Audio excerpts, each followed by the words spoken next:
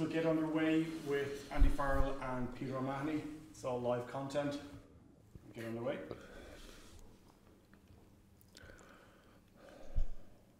Hi Andy, congrats on the win.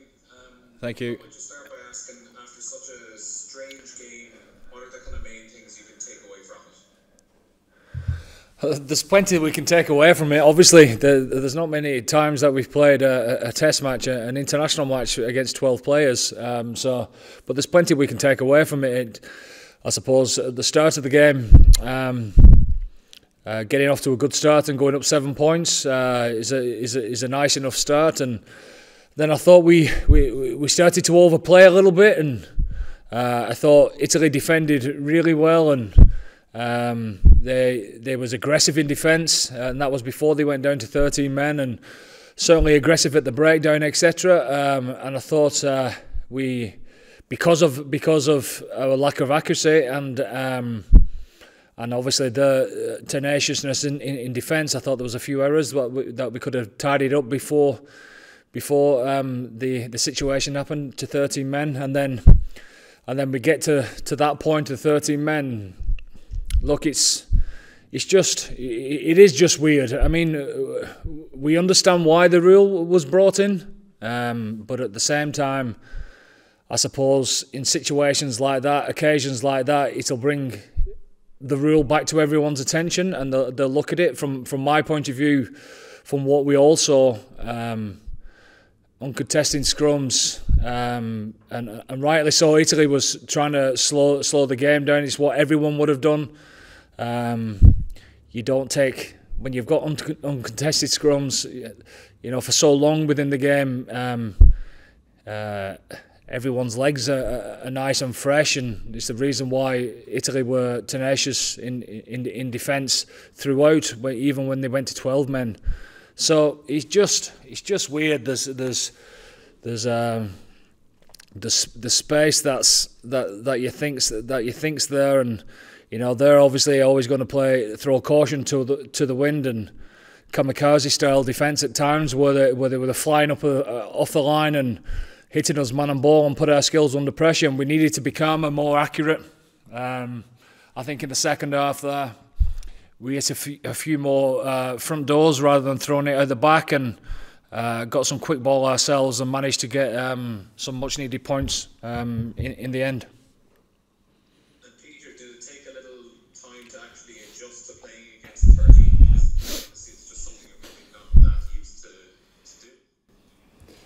Yeah, it probably did, and it, and it shouldn't. Um, you know, there was a lot of waiting around, obviously, with, regard to what the ruling was and that kind of thing, um, and uh, just the whole stop-startiness uh, of the whole kind of 20 minutes that that surrounded it. But you know, I think we need to be better on the pitch at at negotiating a way around, uh, you know, you know what the opposition are are presenting with us.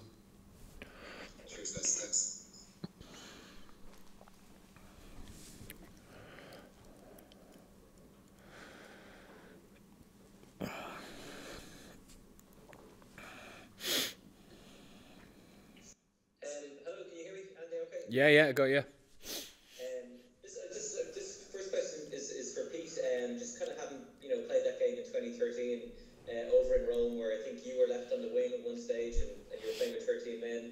There's, there's an, an element of, of ruthlessness, isn't there, that, that you kind of need, you know, when you're up against a team that are, you know, as unfortunate as it was, you need to be ruthless, isn't it? Like, you was that a talk you had to the lads out there on the pitch? Yeah, well, look, we, we want to be ruthless, but we, certainly in the the last 20 minutes of the first half and, and for parts of the second half we, we weren't you know we, we, we weren't accurate and um, you know we should have made life a lot more difficult for a team that were down to you know what I mean 13 12 players at one stage you know? So um, you want to be ruthless but you know at times they're actually let us down.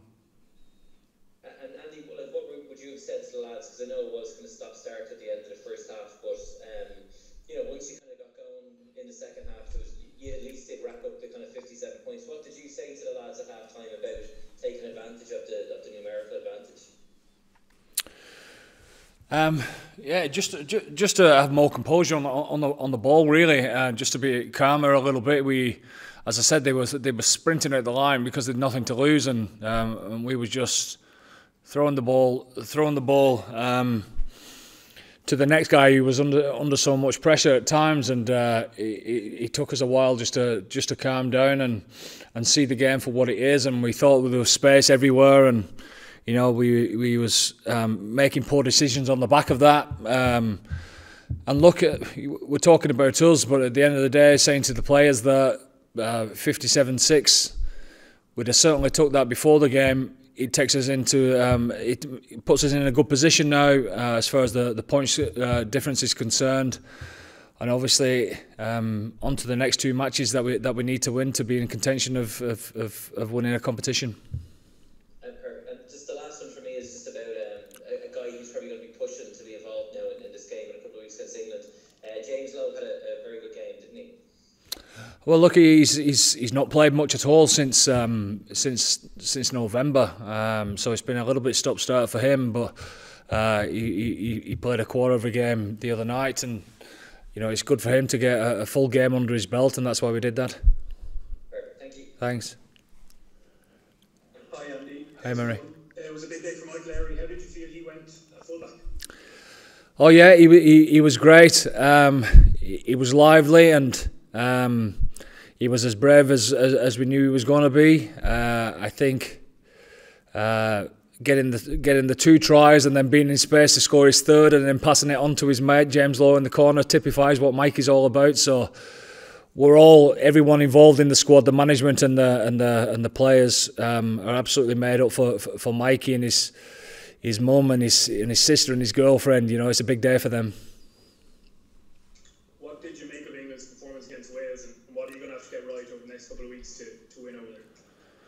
Well, we, we, we know that they're going to come hard off the line at us. Um, um, and Italy came hard off, off the line at us at times today, and we, we, we weren't composed enough, so we need to be a little bit more accurate there. We know that they like to kick the ball for territory a lot.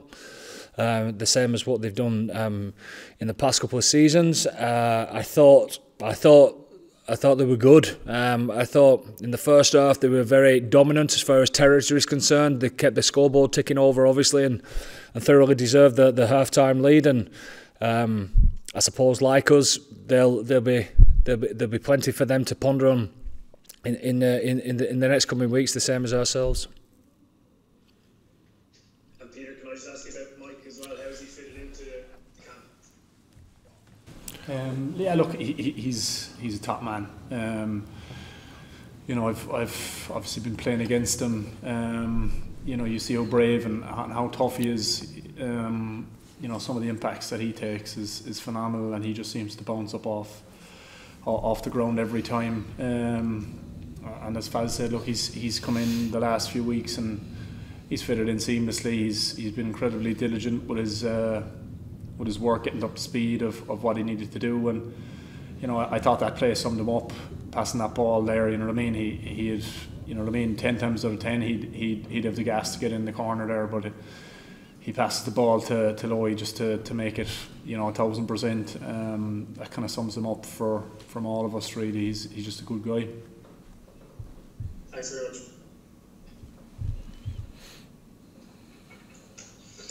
Andy. How?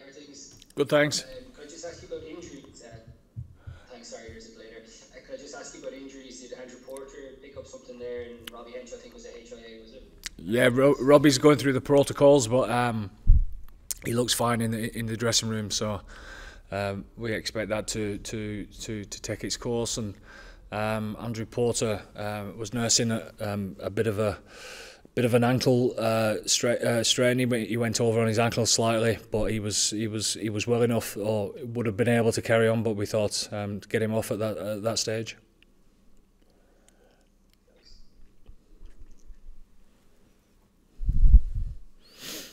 Anything further, guys? Andy, um, Joshua's player of the match, another one, another uh, award. How happy are you with his form and his continued improvement? Well, he's he's he's he's, he's very consistent at the minute, isn't he? Of uh, of playing at a very high standard, and uh, he sums Josh up when he comes into the change room after the game, and he was turned over um, uh, um, in, in in the game though, and it, that's the only thing that he could think about of whether he needed to keep his feet under him a little bit more. And he did that pretty well throughout, didn't he? Keeping his feet going and uh, and, and driving driving on there. So. Look, he's um, he's coming on a treat, isn't he? Uh, at this level, um, he's very consistent, and, uh, and that's what he wants to be.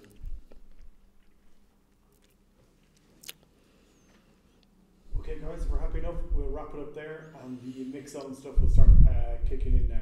Thank you. Cheers.